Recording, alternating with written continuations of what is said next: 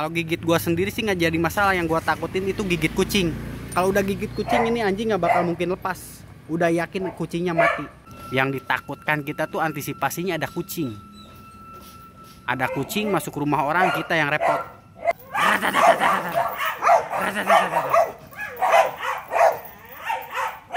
Scratch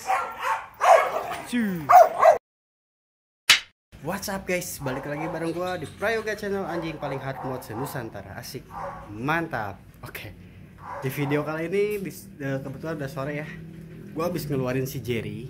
Nah, ini anjingnya nih. Gua habis ngeluarin si Jerry Di mana si Jerry ini udah lama nggak keluar Dan sekalinya keluar itu maniter dia. Jadi apa aja yang di sekitar mau barang mau rantai mau apa aja pokoknya disikat sama dia. Sebenarnya sih kalau orang yang udah terbiasa pegang jenis anjing pitbull EDB ini mereka udah terbiasa kegigit ya. Tapi dia kegigitnya itu nggak nyampe bener-bener fokus dia gigitin kita ngancurin kita nggak. Seperti hal-halnya banyak kasus jenis anjing pitbull ini banyak uh, terutamanya sama anak-anak ya. Sering kejadian yang hal-hal yang tidak diinginkan. Itu sebenarnya bukan jenis bukan jenis tipe pitbull EDBA ini ya. Bukan jenis pitbull tipe EDBA bukan dia sebenarnya gigit tapi gigit itu dia karena maniter. Dari maniter itu udah lama nggak keluar kandang di sekalinya keluar kandang apa aja yang di dekatnya itu disikat sama dia. Sebenarnya yang sering keluar kandang juga kalau udah karakternya karena genetik ya karena genetik ya apa aja dia sama dia dihantam. Jadi kalau untuk sampai benar-benar ngerusak uh, badan kita itu nggak nggak ada belum ada sejarahnya dan nggak bakal ada sejarahnya. Karena jenis tipe jenis pitbull EDB ini udah genetiknya dia buat anjing uh, khusus ya khusus anjing anjing pilihan. Pokoknya uh, tonton terus videonya sampai selesai. Jangan lupa subscribe like comment dan share.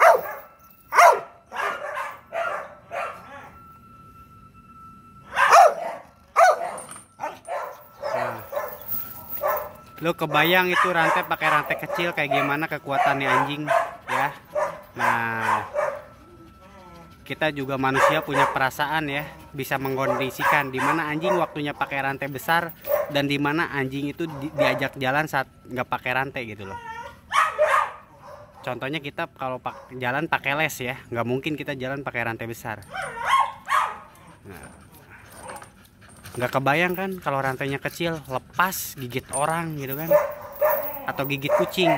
Karena kalau gigit orang jenis tipe EDBA ini belum ada ya sejarahnya ya belum ada sejarahnya jenis tipe EDBA gigit orang. Tapi kalau gigit-gigit besi gigit apa aja yang di sekitarnya itu pasti dihantem kalau gigit orang dia pertama gua keluarin dia udah gigit gua tapi dia enggak makanya gua kasih rantai yang besar kenapa? Karena kekuatan anjingnya ini gila banget. Ini tembok aja sampai dihantam kayak gitu. Lu kebayang pakai rantai kecil apalagi rantai yang 25 ribuan waduh jangan harap dah nah jadi jangan salah paham dulu nih kalau anjing pakai rantai besar itu manfaatnya buat apa? Bukan buat nyiksa anjing. Tapi ya ini antisipasinya kayak anjing kayak gini ya. Dan itu cuma iketan doang. Rantainya cuma diikat aja ya. Bukan rantainya se itu kan panjang 2 meter setengah bukan berarti si rantainya 2,5 meter itu diiketin di lehernya. Soalnya jenis tipe anjing yang ini nggak sembarangan semua orang bisa pegang ya butuh jam terbang yang benar-benar tinggi dan udah yang dan sudah menguasai dan benar-benar sudah menguasai jenis anjing tanduk ya. Nah nggak kebayang kan?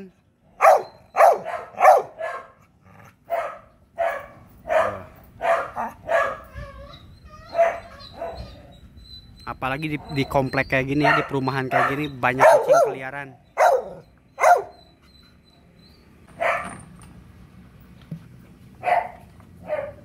udah yakin banget kucingnya mati ya. Nggak mungkin bisa diselamatin.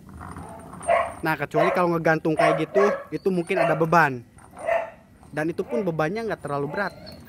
Kecuali kalau sepanjang 2,5 meter itu diiketin di lehernya baru Jerry bro. Tiga kali win satu kali loss.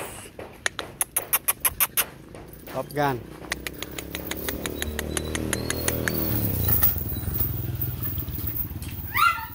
kita lihat nih aksi si Jerry anjing gila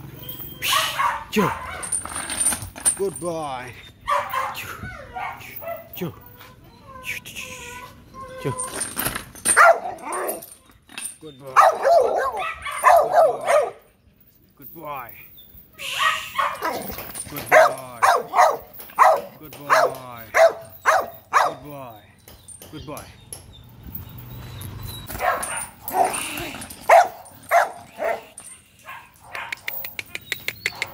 Come on, Jerry. Come on, Jerry. Oi. Jerry. Jerry.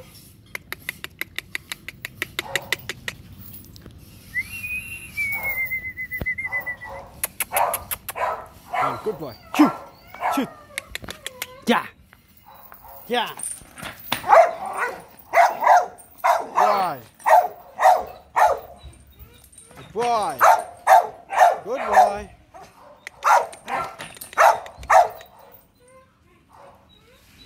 Top kan? Top kan?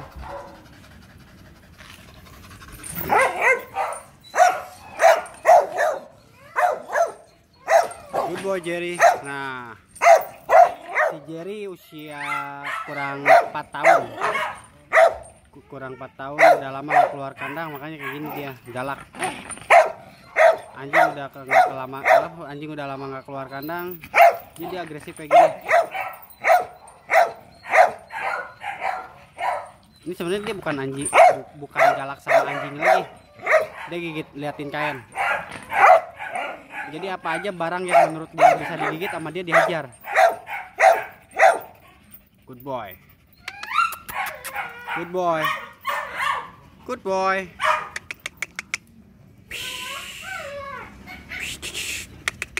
Top Gun. Ini sama sed- sedara masih Top Gun. Dia adenya, adenya si Jerry. Jadi si Top Gun ini adenya si Jerry dia. Good boy Jer. Good boy Jer. Good boy Jer. Good boy Jerry. Ini anjingnya benar-benar galak ya. Jadi buat kalian nggak sembarangan. Jangan main-main dengan jenis pitbull EDBA ya. Apalagi yang, maniter kayak gini dia gigit-gigit apa aja yang di sekitarnya dia dihantem. Nih kayak dia gigitin rantai. Nih. Jerry. Eh Jerry. Jerry bro. Jerry bro. Jerry bro. Jerry bro. Cuh. Cuh. Top Gun. Good boy. Good boy Top Gun.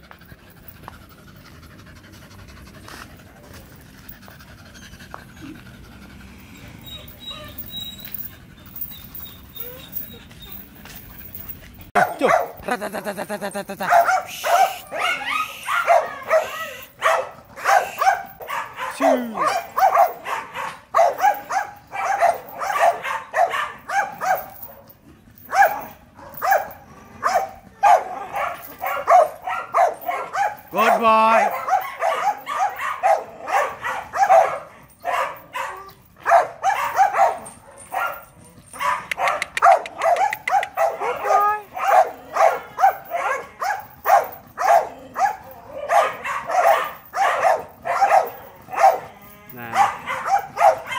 Anjing gila, makanya jangan salah sangka dulu jenis tipe EDBA itu yang kayak gimana.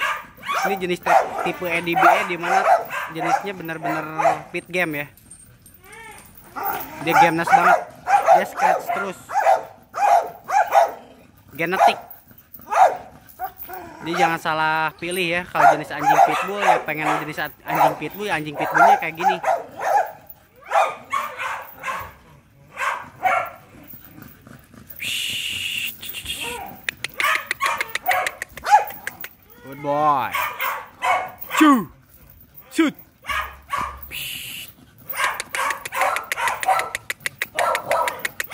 On, Jerry.